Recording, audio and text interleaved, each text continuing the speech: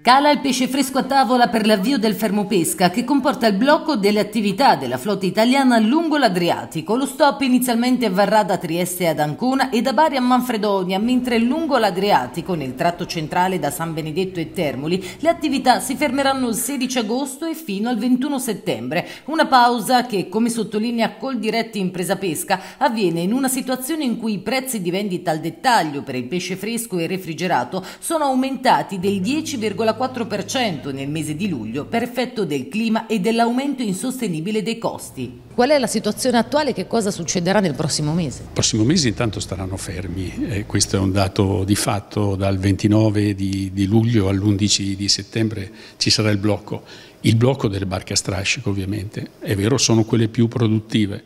ma eh, è anche vero che qualcosa di pesce fresco lo troveremo dalle barche della piccola pesca, da altre unità che fanno anche reti da posta d'altura. E eh, novità quest'anno nel porto di Fano torna, sono tornate una coppia di volanti, era 30 anni che non avevamo più eh, sbarchi di pesce azzurro nel nostro porto e son, è tornata una coppia che aumenta la, diciamo, le, le, specie che i consumatori possono trovare eh, sul banco. Invece per quanto riguarda il malcontento dei pescatori, ha poi aggiunto Giardini, è chiaro che veniamo da un periodo di magra, ha detto. Notoriamente i mesi di maggio, giugno e luglio sono quelli di povertà del prodotto ittico, salvo poi ripartire a settembre con quantità notevoli di pescato che dovrebbero ribilanciare le perdite subite, le quali derivano dai costi di gestione, soprattutto la voce carburante che è più che raddoppiata. Cerchiamo di essere positivi, speriamo che le cose vadano per il verso giusto e speriamo che ci possa essere una, una anche seppur minima discesa del costo del gasolio. Il costo del gasolio che è importante nel nostro settore perché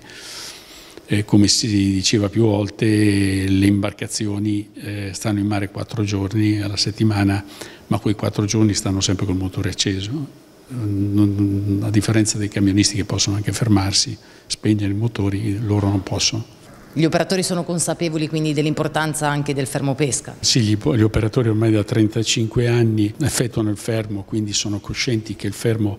ha una capacità di ricostituzione delle risorse importante. Il problema sta nel fatto che la diminuzione delle giornate di pesca ormai è oltre il fermo pesca, perché non è questi 40 giorni di fermo pesca che poi determinano i bilanci, sono le giornate aggiuntive che l'Unione Europea nel contesto di piani di gestione dell'intero bacino adriatico ha imposto ai nostri pescatori e questo fa sì che ormai si arrivi a 130 giorni, per, soprattutto per le unità più di stazza maggiore, 130 giorni di pesca nell'arco di un anno. Significa che eh, insomma, siamo quasi a un terzo delle giornate nell'arco dell'anno per le quali si può lavorare, quindi eh, insomma, è difficile chiudere dei bilanci in maniera positiva quando eh, insomma, si hanno tanti giorni di inattività forzata.